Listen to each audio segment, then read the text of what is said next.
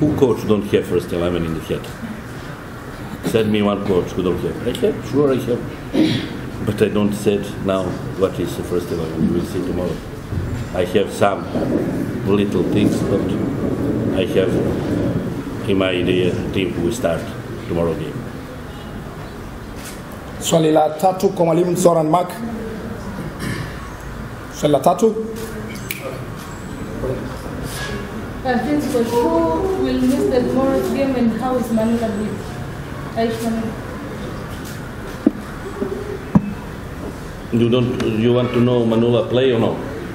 I want to know how is Manula doing because uh, the last game we didn't see him on the pitch. She be injury. He is recuperation. He is with team in the hotel. He have chance. We see tomorrow he start on. She also wanted to know if you are going to miss any players for any other reasons. No, but uh, normally for you and for all people, the Manula is not recuperation totalmente and can he tomorrow don't play. Thank you. Swali la nne. Karibu. Yes, Zoran. We normally hear that uh, you are talking about uh, knowing the opponent, technically, their philosophy of playing, and everything. Do you think the match against Yanga against the Vipers, Yanga lost the game? That can help you technically to win Yanga after tomorrow game? No.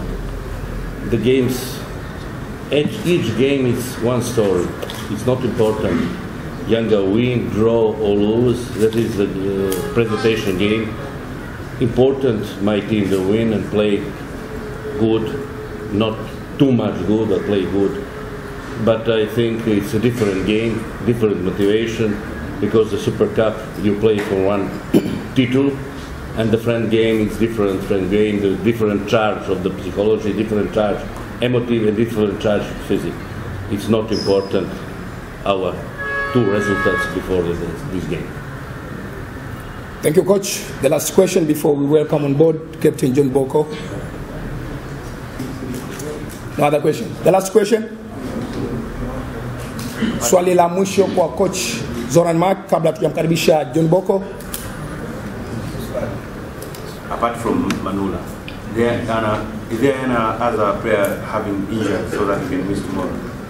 In this, mo- in this moment, only Manula, it's uh, not recuperation 100%, and don't be of the 20 players in the game. Thank you, coach, and we wish you the best game.